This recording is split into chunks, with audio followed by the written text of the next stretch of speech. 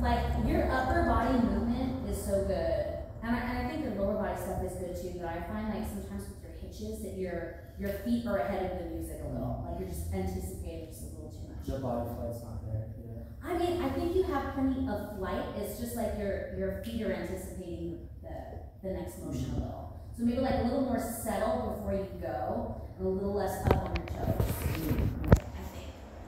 Um, as far as it looked like you facially like you're enjoying yourself, but it looked like your eyes were closed the whole time. Right. Like I didn't see any whites of the eyes, no eye contact between you, and your partner. Ah. You know what I mean? Like the shy boy thing will like it works, but you're like a man now.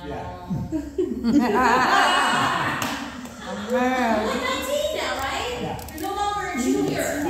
Uh, baby's all grown up. baby's all grown up. Baby's all grown up. Shy. Ah. You know? You know what I'm saying? um, also in that same vein, I wanted to see a moment that was more about you. Yeah, I agree. You know, like something that spotlights something that you'd like to do well. Like if you want to do turns, like Benji, or like just something that, you know, I don't know if you've worked on your pirouettes, if that's something that you like, Mhm. or something like that, but, or give yourself like a ride off of one of her like pivots or something like that. Yeah. Something a little more, show yourself off. Yeah.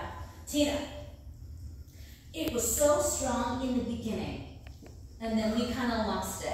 You were working it so good in that opening. I was like, oh my god, if she keeps this going, like that's like really good progress moving into the future. It, it got a little wonky in like the dips and things um, in the second in the second half of the spotlight. You have to start stretching because those things are going to keep happening, and you want to be able to hold yourself up, and you want to be physically prepared. So start start doing those squats and stretching and like opening up your hips a little more, so that you don't need him for balance so much. You know what I mean? Okay, Rosemary. Me first, huh? Oh yeah. All right. I'm gonna start with you. Also, I agree about the eye contact thing. I think um, I noticed that there are definitely some places like we did two moments where you sort of charged us, but you charged us while looking at Tina's feet. Yeah. And so I, I'd love to see like you can trust that Tina's also going to charge it and like have that mutual audience moment versus like here is Tina doing the thing that I am actually doing also, but it's Tina doing it and that's important. You know what I'm saying? Um, yeah, but otherwise you're dope. Uh, Tina, I would love to see a little bit of a delay between your hips and your shoulders. Um, I notice sometimes you're moving your body as one full unit versus like reaching the back of your your like anchor spot with your shoulders and then allowing your hips to like settle and move all the way through. So it's kind of that stretch thing, but it's stretch within your own body. Um, so Yeah. and also that really quickly. Yeah, sorry.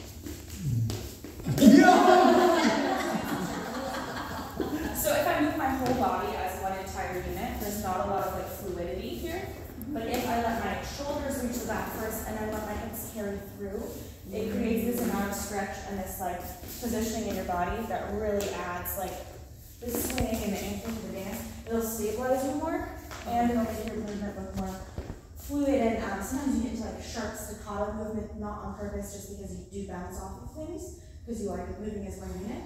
Um, so I think that would help with that too. Well, that's what I got. Omar.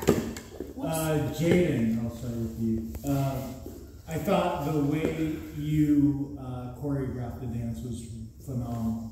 Like you were coming at the audience. Also, it was halftime with the music. It was like just such a those moments like that. Even how you started the dance was like really powerful because we're gonna see West Coast scene throughout the dance. It's great if you start the dance with something that's atypical, something that is like high, you were highlighting the follower. I thought it was really good. Um, and I understand why you don't look at your partner is because you have to like you're choreographing the dance and you're so focused on that. But you're to get to that next level, you do need to get that eye contact uh, under control and your connection. You're doing what you have to do to get the follower to do what you want. Mhm. Right? Um, it's gonna look cleaner if you can calm it down Right. try to do it with less movement of the connection because it's going to just elevate your dance so much more. Right. Uh, Tina, uh, like Bella was saying, when you started the dance, you took the moments Jaden was giving you and you did it really well. Uh, so that's, I mean, that's your job as a follower. It's like you are, you're the one that everyone wants to look at, right? Jaden was doing a good job of setting you up, and you were taking those moments. Um, it was a little bit, uh, you, I think you weren't uh, coming up with things to do later in the dance. So just being consistent of like having something to do at in those moments, uh, and you were very patient at first, and that that's what made those beginning moments look so good. So make sure that you are not trying to rush to keep up with the, the leader. You are the metronome. Okay, so if you want to slow down in the dance, you you uh, enforce that on the leader. Okay, so don't try to rush to keep up with the leader. Like you go at your time. Nice.